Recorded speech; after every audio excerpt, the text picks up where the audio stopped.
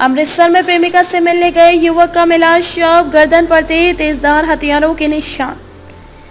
बीड़ी Santa थाने के अधीन पड़ते गाँव डगतूत निवासी जगत सिंह, उम्र तेईस वर्ष का शव शुक्रवार की दोपहर संदिग्ध परिस्थितियों में छन्ना कला गाँव के पास मिला है। पीड़ित परिवार ने आरोप लगाया है कि महिला ने जगत सिंह की हत्या का शव फेंक दिया है। उधर थाना प्रभारी हिमांशु भगत ने बताया कि मामले की जाँच करवाई जा रही है। फ़िलहाल शव का पोस्टमार्टम करवाया गया है। रिपोर्ट आने के बाद कार्रवाई की जाएगी। डकतूत गाँव निवासी मनजोत सिंह ने बताया कि उनका बारहवीं पास भाई जगत सिंह केमिस्ट की दुकान पर नौकरी करता था। लगभग छह महीने पहले उसकी मुलाकात कल्लेवाल गाँव की एक शादीशुदा महिला के साथ हुई थी। परिवार का आरोप है कि महिला और जगत सिंह आपस में प्रेम संबंध में थे। वही वीरवार की रात महिला ने जगत सिंह को अपने घर बुलाया था। लेकिन उनका भाई जगत सिंह सारी रात घर नहीं लौटा और उसका मोबाइल नंबर भी बंद रहा।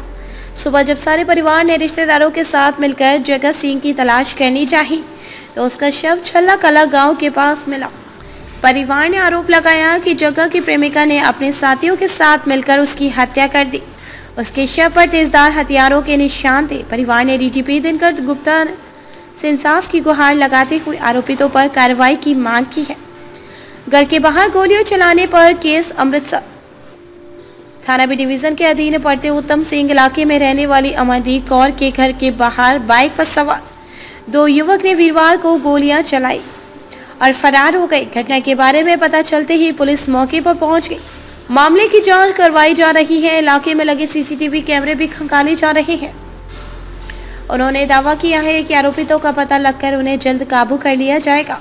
उत्तम सिंह नगर निवासी अमरदीप कौर ने बी डिवीज़न थाने की पुलिस को बताया कि उसके पति जसप्रीत सिंह विदेश में रहते हैं।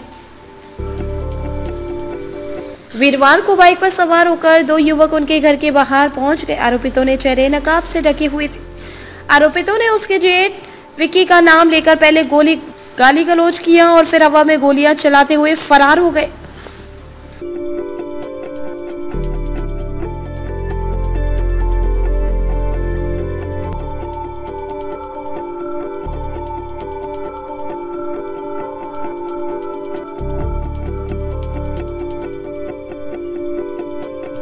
you